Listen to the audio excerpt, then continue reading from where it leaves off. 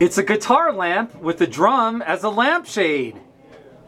Not too shabby!